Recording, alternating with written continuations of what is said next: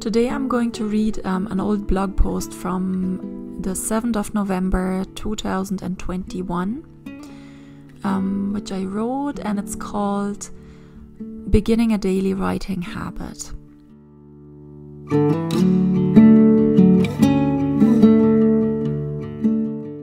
Beginning a Daily Writing Habit.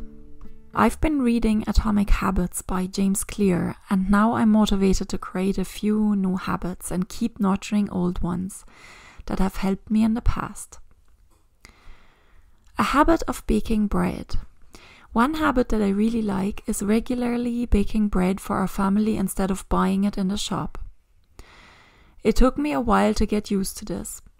I experimented with different recipes until I found a few easy, healthy, and tasty ones that I use on rotation now. When I started making bread dough today, I thought that I finally managed to make it very easy for myself to bake bread every two to three days. I set up a whole shelf with all the tools I need for baking bowl, measuring jug, weighing scales, and bread tins. My recipe book is close by. I can easily grab the ingredients and get going. A habit of daily walks. Another habit that I created for myself over the years are my morning walks or runs. Even if it's still dark outside, I put on my workout clothes first thing and do some of the things from my morning routine list until it's brighter or until I get a chance to go outside. A habit of writing daily. Now, I'd really like to build a daily writing habit. I'm still playing with ways I could accomplish that. I know I need to make it as easy as possible for myself to get started and keep going with this new practice. First, I need to choose a time and place.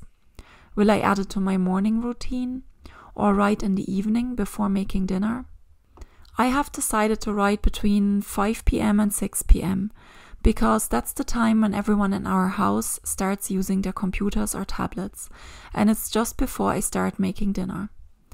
To make it more special, I'm going to brew myself a nice cup of herbal tea every time before I begin writing. So here's the plan. Between 5 and 6 pm, I'm going to make a cup of tea, open my laptop, and write at least one sentence or paragraph. That's all for now. Easy and doable. I'm very curious to see where this will lead. Who wants to join in? How could you create a simple writing ritual for yourself?